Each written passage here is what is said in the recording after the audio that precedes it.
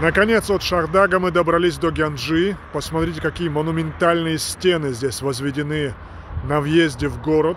Сразу чувствуется влияние восточной культуры и восточного духа. И вы даже не представляете, какие потрясающие пласты истории нас ждут в этом древнем городе. Итак, вперед! Друзья, мы наконец э, попали в Гянджу. Вы видите исторический комплекс за нашей спиной. Это наш брат Артур. Салам алейкум. Алейкум салам. Посмотрите на его орудие производства. Это такая гранатомет просто дальнего радио, радиуса действия, телевизионный. Вот здесь мы отсняли эпизод, начальный эпизод нашего очередного фильма.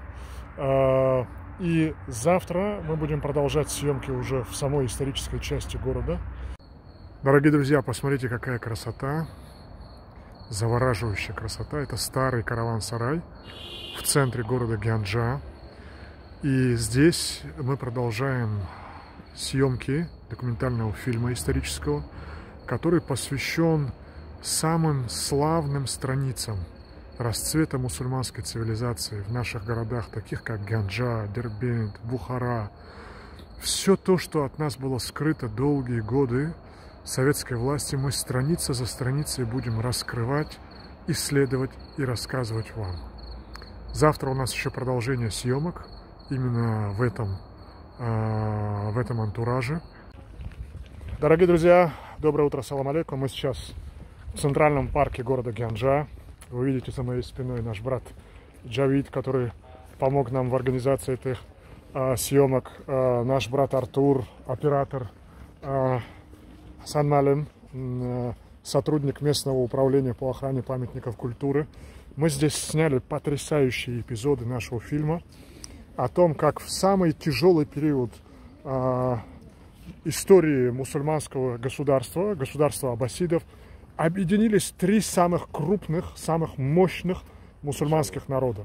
Это арабы в лице аббасидов, тюрки в лице сельджуков и персы в лице блестящих интеллектуалов, таких как Низамуль Мульк, таких как Абу Хамид Аль-Газали, таких как Абу Исхак Аш-Ширази.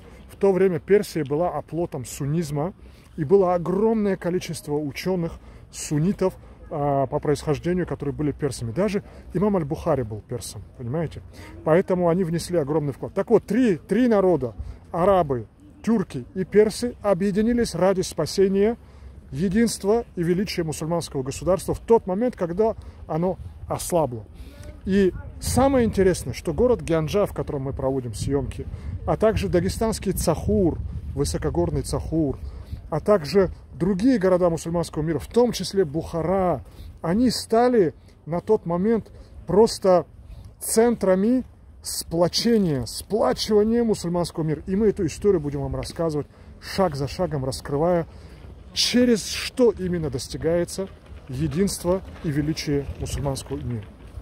Именно через объединение всех мусульман на одной идее и на основе мусульманского братства. Амин. До скорых встреч. Салам алейкум. Подпишитесь на этот канал и ставьте лайки под каждым видео. Это поможет нам в продвижении канала и доведении информации до тысяч новых зрителей.